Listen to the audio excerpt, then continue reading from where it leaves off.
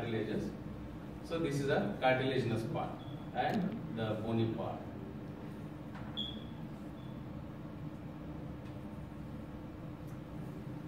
So about the nasal cavity, it extends from the external nair to the posterior nair, that is the concha.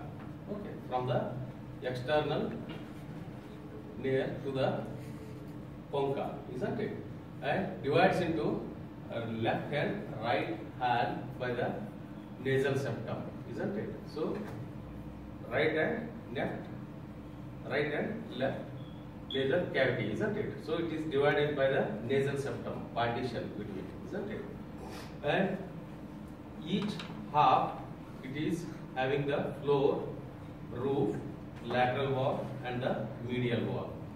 See here, it is a cut section of the nose, isn't it? So this is a nasal septum, okay, and this boundary, this is a lateral wall of the nose on either side, isn't it?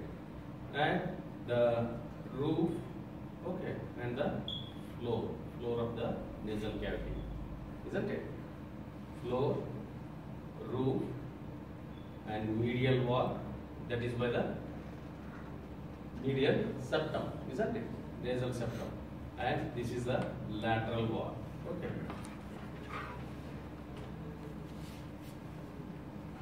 Is it clear now? So this is a nose, isn't it? So by the nasal septum, it divides into two parts, right and left. So it is having roof, floor, medial wall and the lateral wall, isn't it? So medial wall it is by the nasal septum. So the lateral wall it bears a concha, isn't it? Concha here, lateral wall of the nose. Next is about the roof. It is narrow and it is formed by the body of the sphenoid. Okay, body of the sphenoid and the nasal bone. Okay, and the frontal bone. And this is a ethmoid bone. Isn't it? So ethmoid, sphenoid, frontal, and the nasal bone. Okay. So this is a roof of the nasal cavity. Okay. And the floor, here it is the floor. It separates the oral cavity from the nasal cavity, isn't it? So the floor, and it is formed by the hard palate. So it is formed by the hard palate. It is the partition, isn't it, between the oral cavity and the nasal cavity. So this is the floor of the nasal cavity. So this is about the roof and the floor. Next is medial wall or nasal septum. So it is a osteocartilaginous partition. Okay. Osteocartilaginous partition. Okay. It is by the bone and the cartilage both, isn't it? Nasal septum. And it is formed superiorly by the vertical plate of the ethmoid bone here. Okay. Vertical plate of the ethmoid bone and inferiorly and also by the vomer. So this is a vomer bone. It is by the vomer bone and the perpendicular plate of the ethmoid bone. Okay. So anteriorly by the septal cartilage. So this is cartilaginous area. So it is by the septal cartilage bone that is perpendicular plate of the ethmoid and the vomer bone. Okay. So this is about the medial wall of the nasal cavity. Next is lateral wall. So lateral wall, there are uh, uh, so this lateral wall shows three horizontal bony projections. Okay, lateral wall bears okay are having shelf-like structures, bony shelf-like structures. So those are called the concha. Okay. So these are called the concha. Three horizontal bony projection. One, two, and three. Isn't it? Similarly here. One, two, and three. Okay. And the superior and the middle concha are the part of the ethmoid bone. So this superior and the middle concha, these are the part of the ethmoid bone, whereas the inferior concha it is a independent bone. Okay, it is a independent bone, and the cavity below each concha is called as the meatus. Okay, cavity between the two concha. Okay, there is a space between the two shelf-like structures. That those are called the meatus. So, superior meatus, middle meatus, and the inferior meatus. Okay, these are the spaces. So, see here, superior meatus, middle meatus, and the inferior meatus between the conchae. Okay, the lateral wall of the nose. Is it clear now?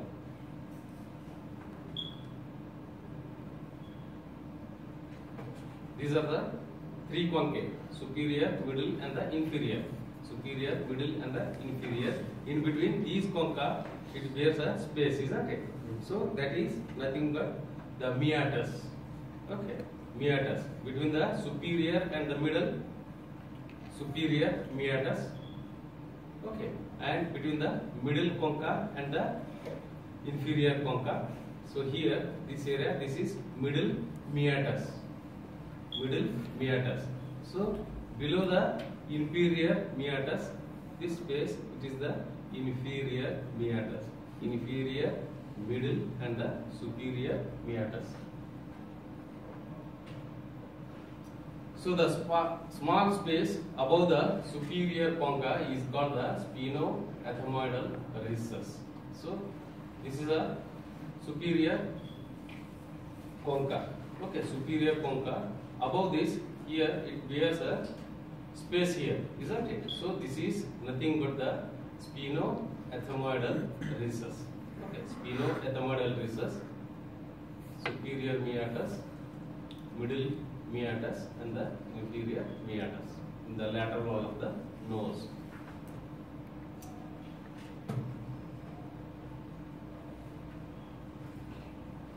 So the this is a atrium.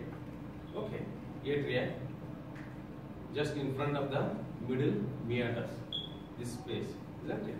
And below and in front of the atrium and just within the nostril lies the vestibule.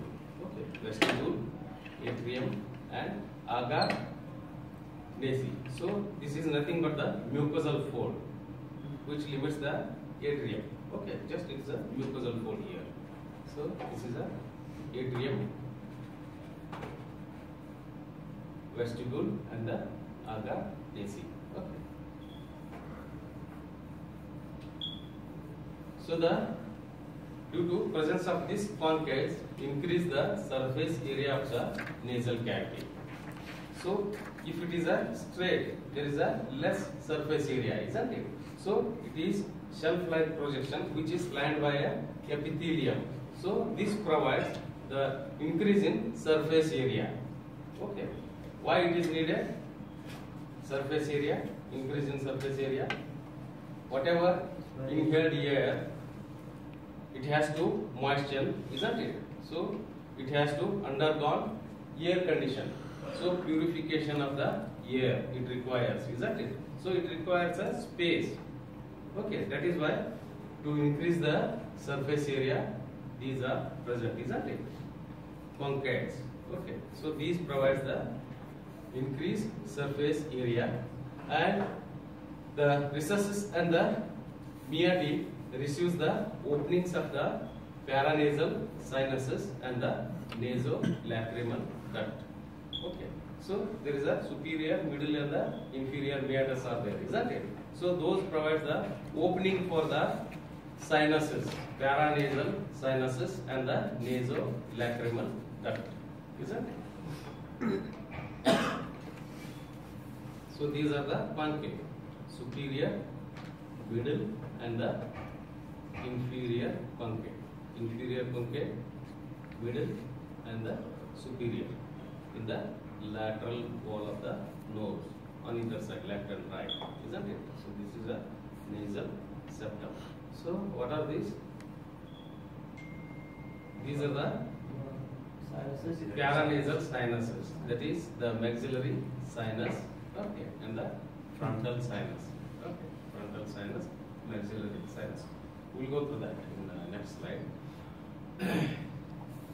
so the sphenoethmoidal recess, it receives the opening of the sphenoidal sinus. See here. Okay, here this recess, it provides the the sphenoidal ear sinus opens here.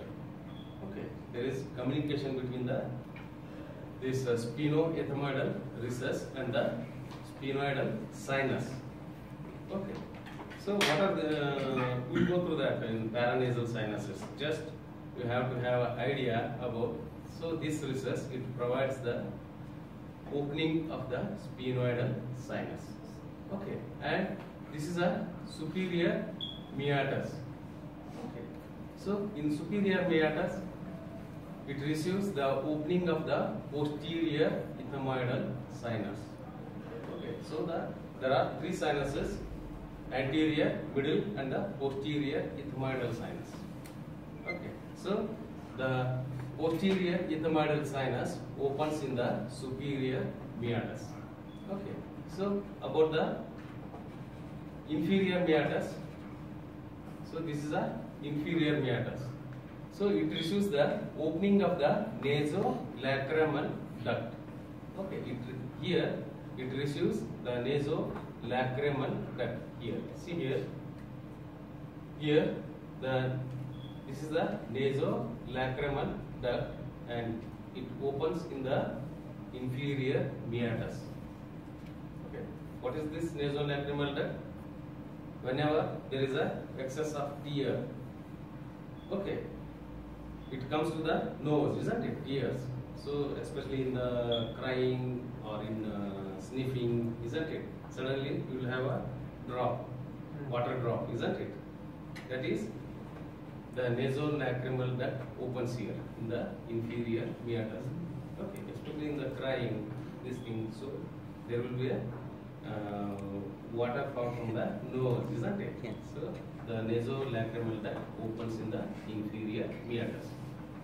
So this is about the recess, the sphenoethmoidal recess, superior meatus and the inferior meatus. Next is the middle meatus. Okay. So this part it is the middle meatus.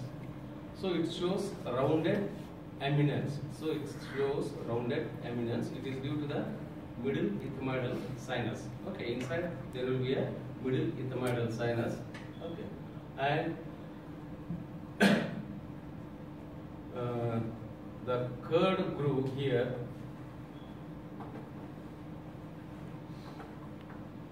Okay, so here the maxillary sinus opens.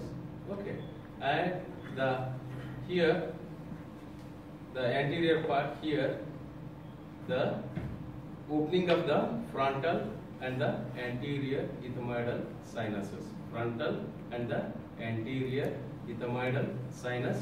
Okay, and the maxillary sinus opens in the middle meatus. Okay, is it clear now? In the middle meatus, what are the openings? Maxillary sinus, anterior, uh, anterior ethmoidal sinus, and the frontal sinus. Okay, three sinuses are opening, opens in the middle meatus.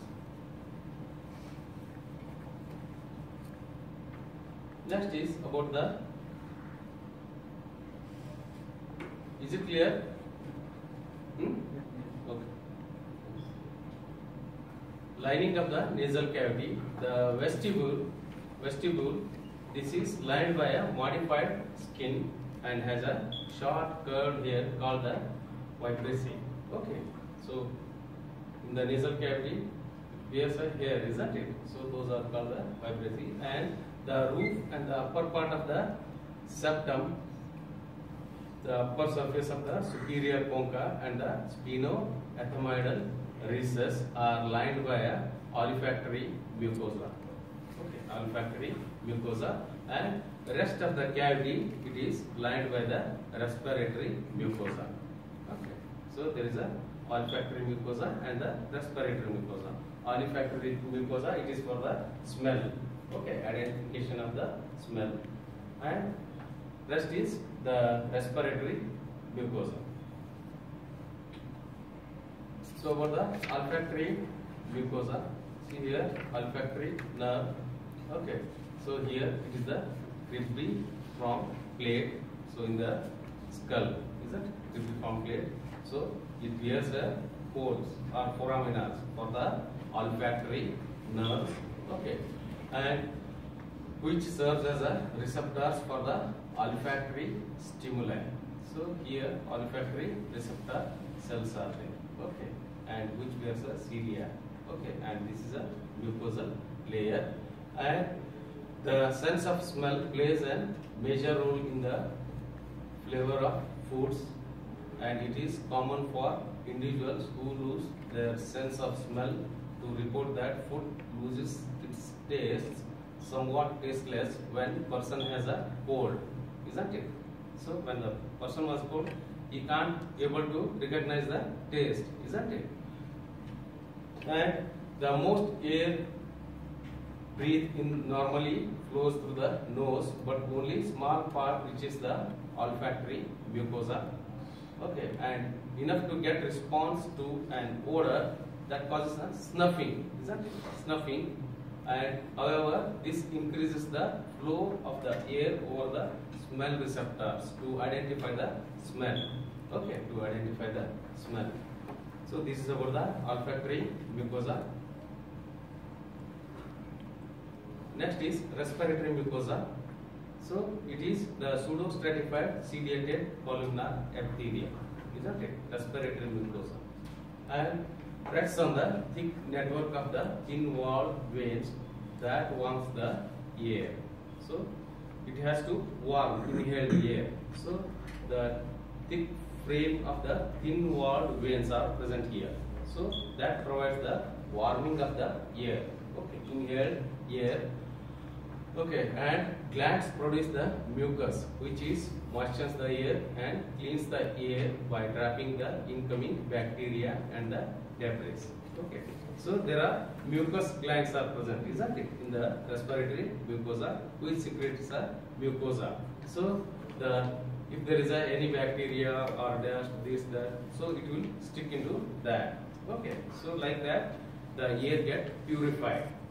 Okay, so it is a air conditioning chamber, isn't it, for the inhaling the air.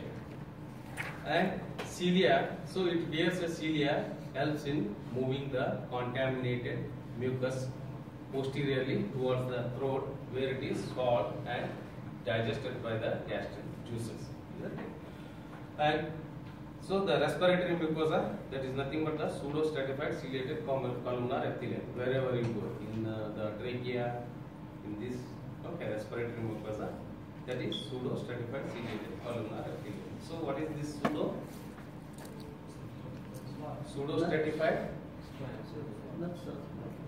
Why? No. So false stratified, isn't it? Stratified means more than one layer, isn't it? So more than one layer, that is the stratified. So pseudo stratified means false stratified. So it is a single layer, otherwise, isn't it? So this epithelium, it is a single layer. So it looks like a multi-layer, isn't it? Why it is looks multi-layer? Yeah, Yes. Because of presence of the nuclei. Usually in columnar or uh, cuboidal epithelium single layer, the nucleus are present at the line, in the same line, isn't it? Whereas case of pseudo-stratified epithelium, though it is a single layer, nuclei are present in the different positions. So one nuclei may be at the basal side, one nuclei to the uh, surface uh, uh, in the surface, so some are in the middle. So totally, by looking, it looks like a multi-layer, isn't it? That is why the pseudo-stratified ciliated columnar epithelium. Next is about the nerve supply.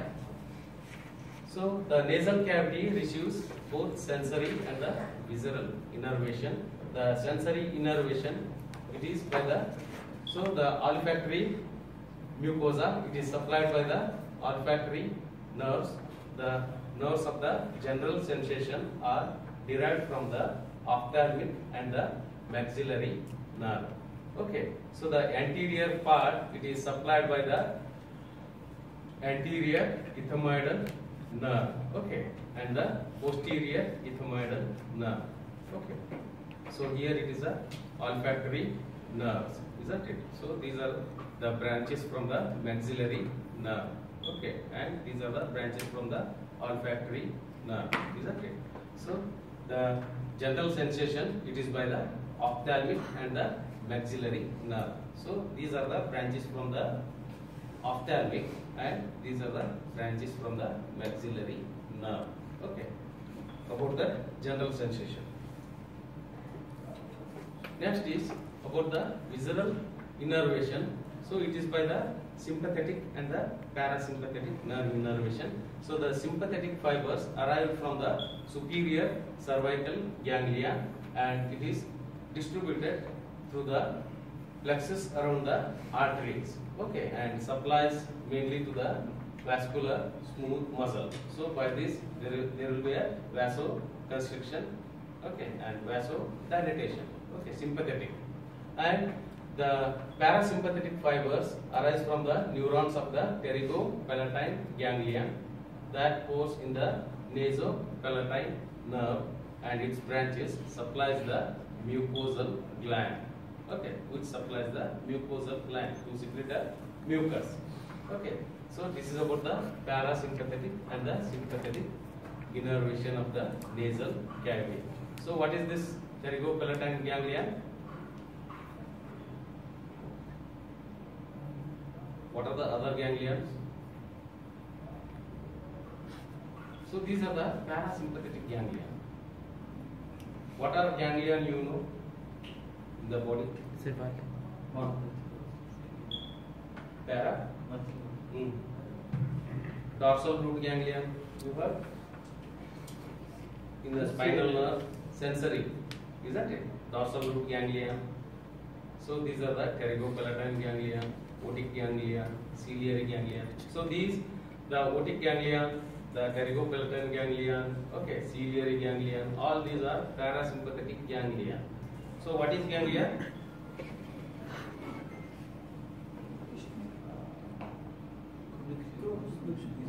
collection of the nerve cells outside the central nervous system. Collection of the nerve cell bodies, isn't it? Yes. So it is nothing but the ganglia. So it is like a relay station outside the CNS. So inside the CNS, we will call it as same thing aggregation of these nerve cells nuclei. We will call it as a nuclei inside the brain or central nervous system. So outside we will call it as a ganglia. Okay, just collection of the nerve cells. Isn't it? Doctor, Yes. about the uh, pterygopalatine ganglion, uh, it, it gives the nas- nasopalatine nerve or the maxillary give it. So from this uh, ganglia, from this ganglia, nerve arises, nasopalatine nerve. Okay. So uh, ultimately the maxillary nerve will get relay into that. So it is like a station.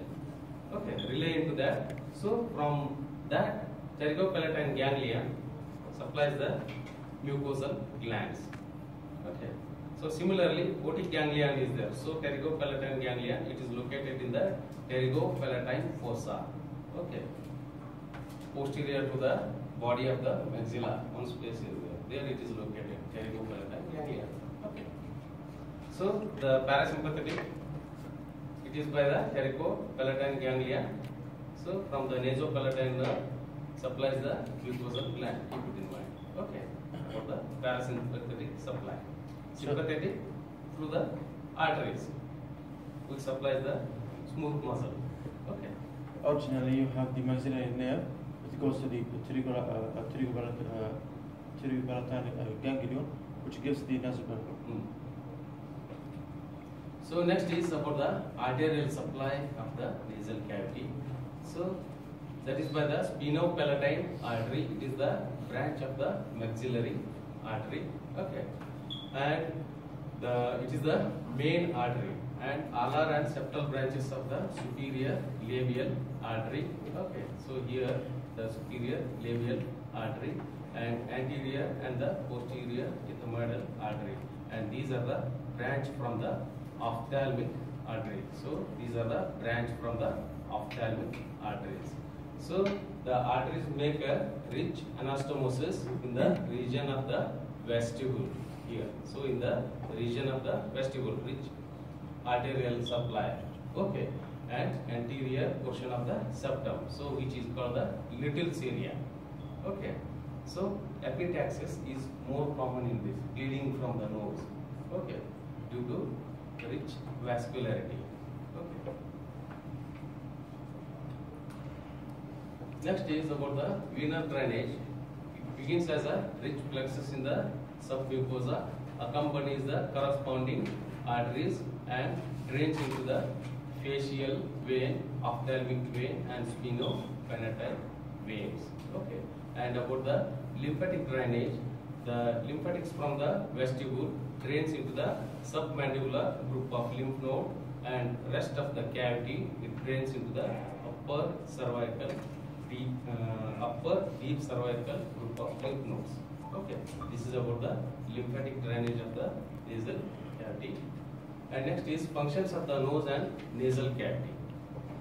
So, for the air conditioning, warming, cleaning, and humidifying the inhaled air. It provides, isn't it? And add resonance to the voice.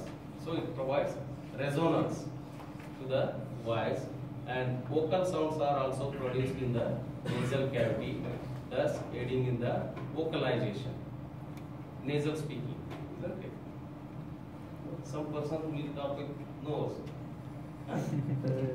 no isn't it yeah. So involved in the special senses like the sense of the smell. Okay.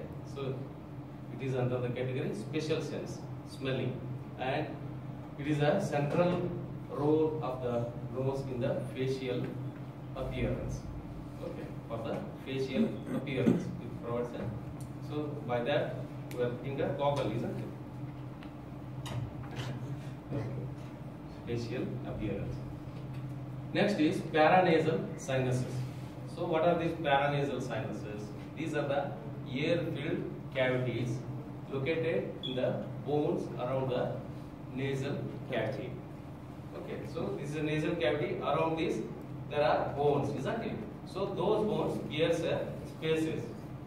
Okay, so those are called the paranasal sinuses. Okay, paranasal ear sinuses or paranasal sinuses.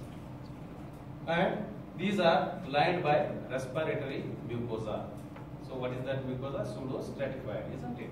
And which is continuous with the mucosa of the nasal cavity and drains into the nasal cavity to the relatively small aperture. Okay, and drainage of the sinuses mainly depends on the movement of the cilia, which propels the mucus towards their openings in the nasal cavity. So here around the nasal cavity there are air-filled cavities or sacs, isn't it?